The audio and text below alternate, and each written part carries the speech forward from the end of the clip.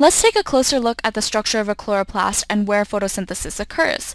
Like mitochondria, chloroplasts have double membranes. Here's the outer membrane and here's the inner membrane. And within the inner membrane is this fluid called the stroma. So if you remember in mitochondria, the inner membrane and the intermembrane space here were both sites of um, cellular respiration processes. But this is different in chloroplasts because chloroplasts actually have a third type of membrane that are found in the stroma. These are layers of membranes in the stroma where the photosynthetic processes occur. One singular membrane disk is called the thylakoid, and this surrounds the lumen.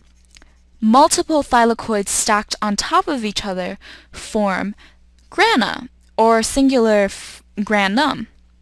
So the thylakoid membranes are the site of light reactions, whereas the stroma is the site for the dark reactions.